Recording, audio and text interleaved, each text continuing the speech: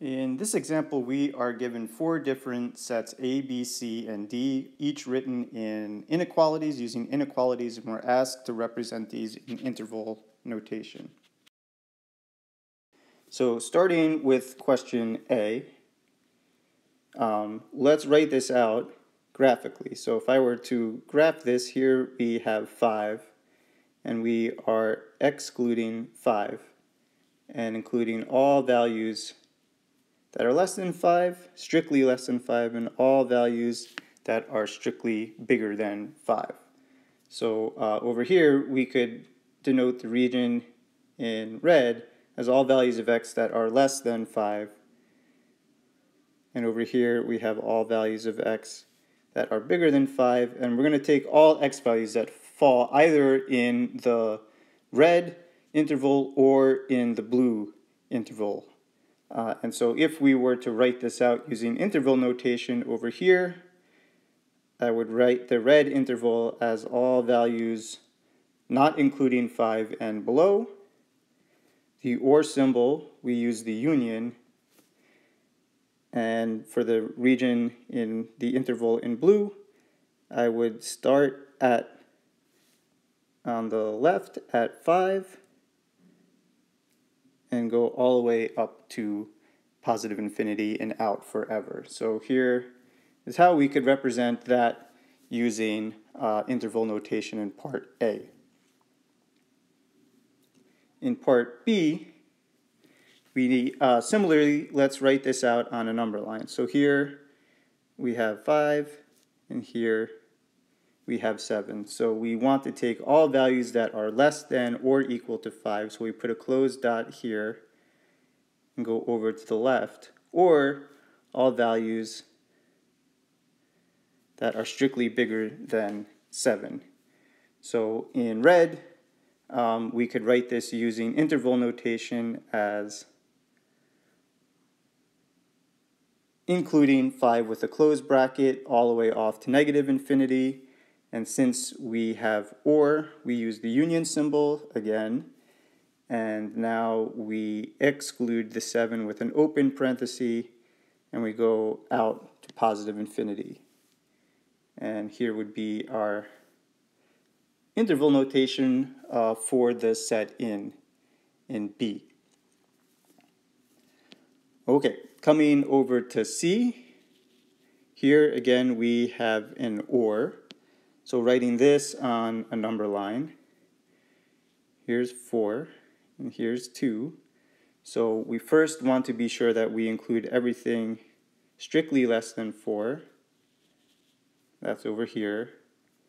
Or values of x that are strictly bigger than 2. And so notice in, in part C that every value of x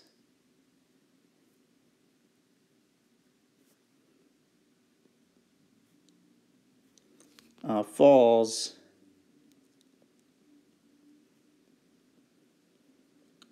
either on the red interval or the blue.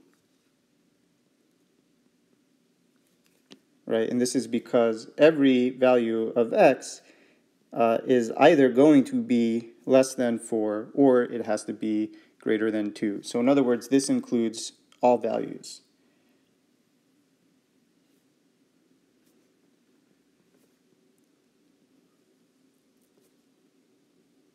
So everything from minus infinity up to positive infinity. So we would write all values of x as an interval that starts at minus infinity and ends at positive infinity with open parentheses on each of those. Okay, and lastly in part D, we have a very similar set, except now we just change the OR to an AND. And um, writing this on a number line, we're going to have the same sort of number line that we had in C. So namely, we're going to look at all values of x that are first strictly less than 4.